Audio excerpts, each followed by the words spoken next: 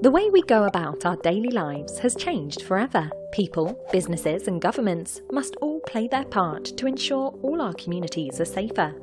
Part of this new normal is a requirement for venues to collect the details of all patron visits, including the time, date, and their contact information. Our Apple iPad collects and securely stores all this information.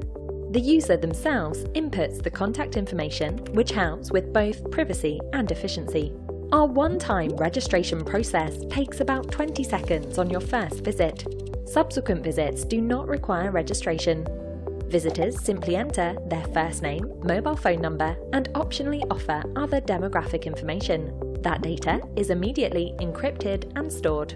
Data retrieval can be confined to regulatory authorities and remain anonymised to the venue operators. While entering the data, you are thermally screened and your phone number is confirmed. Accept the privacy statement, press Done. When you leave, you simply look at the exit screen and you are checked out from the venue. If you return another time, no need to re-register.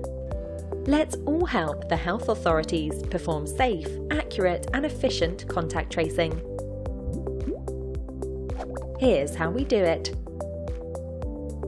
Step 1. Dean visits Jeff's coffee shop and self-registers his visit details are uploaded into the cloud.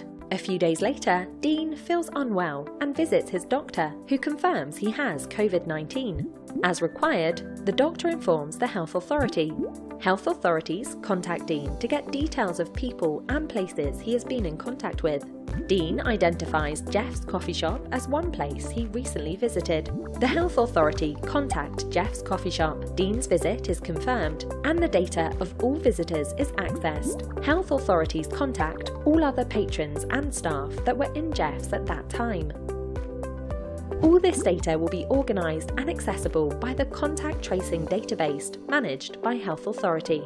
Let's all stay safe and work together to help each other. NoahFace, helping safer communities grow.